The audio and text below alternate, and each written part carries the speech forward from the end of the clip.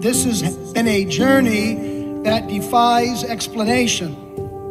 But today, what matters is we're here together, celebrating your accomplishments as graduates of Texas Tech University. We're also here to celebrate what you didn't do. Through one of the most challenging years in our history, you didn't quit. You didn't give up faced with great uncertainty and anxiety, you did it.